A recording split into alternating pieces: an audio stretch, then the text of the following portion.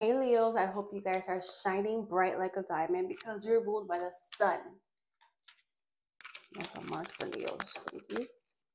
Wow, this card really wanted to come out, so I put it back. Leo, for the month of March, okay, we're gonna work on getting this queen back to her throne. Okay, this is Taurus, Virgo, Capricorn energy. Um, oh, sorry. This is you lack feeling like you're lacking abundance. You feeling like you're not um hard work isn't pay, um paying off yet. This is just lacking creativeness. There was a plane going by. That was not gonna work out for this video. Anyways, Leo, this um feels like you're very insecure again and when she's not in reverse she's very secure about her financials in reverse she's not as secure she's just maybe not motivated anymore so leos for the month of march let's work on gaining that back however that may look for you but work on getting your confidence getting your security doing things again. Um, don't neglect yourself. We want to be a queen. This tarot has no gender so this is for male and female energy as well. Just because that was a reverse let's do a love oracle for you leo. Leo thank you Um, so Leo, you have the engagement ring. So this is higher commitment, eternity, partnerships, and union. So you have commitment going. I, I feel like as much as long as you work on yourself, you will have commitment coming for you. This is not to be love. This could be any area of your life that you feel like you're lacking commitment, right? Maybe it could be a, a, workout routine that you just have like not been like as motivated to do. So this could be the month for you where you work on that. Partnerships and union and completion. So definitely just work on it. You're a work in progress this month. And you know what? That's okay. No month is perfect. Virgo. Hey Virgs. How are you guys? Virgo for the month of March. Virgo for the month of March. One card. Ooh, the star. Virgo, the star is all about healing. It's all about being positive, being hopeful. So if you have been feeling like, oh my God, nothing is working out for me, March is a month where you need to have faith again, okay? Let's leave that negative mindset in February, in January, matter of fact, in 2023. Let's now bring that negative mindset into 2024 but the month of March feels a lot more positive for you. It feels like um, you might be doing some healing work. So I'm really proud of you for doing that. It takes a lot. I feel like sometimes not acknowledging is the easy part, but acknowledging and actually choosing to heal in any way, shape, or form is the hard part. So I'm proud of you if you are healing. I just had to look up what the star card was ruled by because I completely forgot. It is ruled by Aquarius. Aquarius could be significant for you. Aquarius could have been a month where you just like had a drastic change.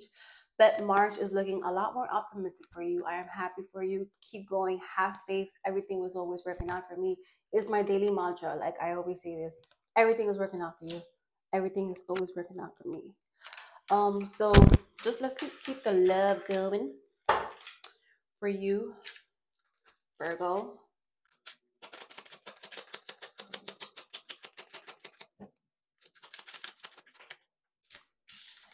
So Virgo, you have coffin. Um, this talks about new beginnings, liberation, reborn, and transition. Tragic ending. So again, I feel like for you, maybe January Aquarius season, you could have had an, ending of some sort that kind of took you by surprise because I feel like this is this has been intense for you. But new beginnings are near. Like I said, have faith. Everything is working out for you. Endings only mean new beginnings are near. Keep that in mind. Um, but I'm rooting for you. I really need this mic to stay. Anywho, hey Libras, Libs, I don't know what to say. Hey Libras, how are you? One card for the month of March for Libra. Libra, you have the Nine of Wands in reverse. Wands are a fire sign, so this is Leo, Sagittarius, Aries. This could be someone you're dealing with, but this is someone that you're getting out of this energy of you feeling like exhausted.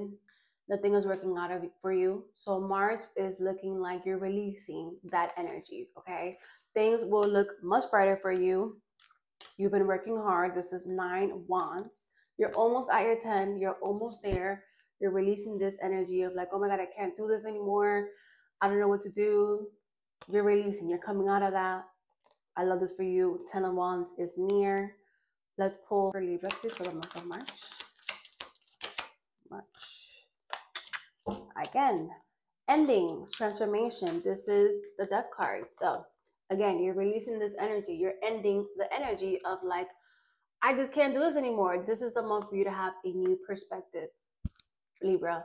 Um, again, this is a time for transformations, uh, new perspectives. She is, she's holding on to dear life because she's exhausted, but you're almost there. Okay, you're almost there. This month for you, Libra, seems like things, a lot of things progressing. Um, and it's been it's been a long time coming for you. But endings, new beginnings, I love to see it in a tarot card because it's beautiful. So hold on.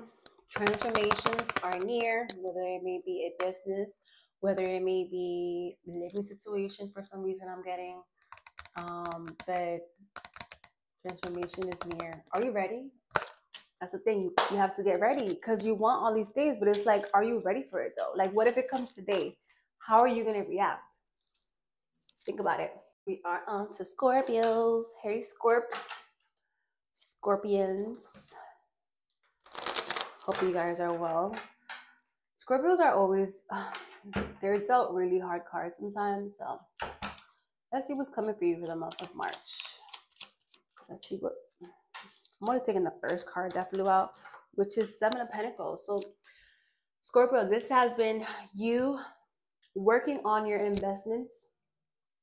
If you have not already started to work on your investment, working on long term stability in some way, maybe it's a house you're working on, whatever it may be for you, Scorpio. But March for you is definitely continuing to work on your investment, on your long term goals.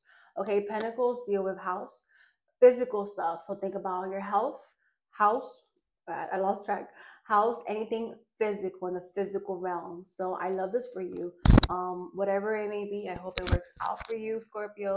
I feel like Scorpios are so deserving of beautiful things because they just go through a lot. They're ruled by um, Pluto, which is the planet of death and transformation. I always am rooting for Scorpios. So give me one card for Scorpios for the month of March. Thank you. Again, I just, I literally just said this. They're ruled by death, Pluto, the planet of transformation. So, Scorpio, this is uh, the relationship is over, no second chances, growth and transformation. What's dead is dead. So, this says to me, instead of investing in someone else, invest in you this month, Scorpio. Um, there's no need for to go back. Um, that's done with. And maybe this is the energy of you continuing to invest in yourself and realizing that the past is in fact in the past. There's no need to like look back and be like, oh my God, but wait, but what if? There's no what is for you in March, Scorpio. There's just invest in you, put yourself first. Self love is the best kind of love. Let's not look back. Let's not, let's just leave it in the past.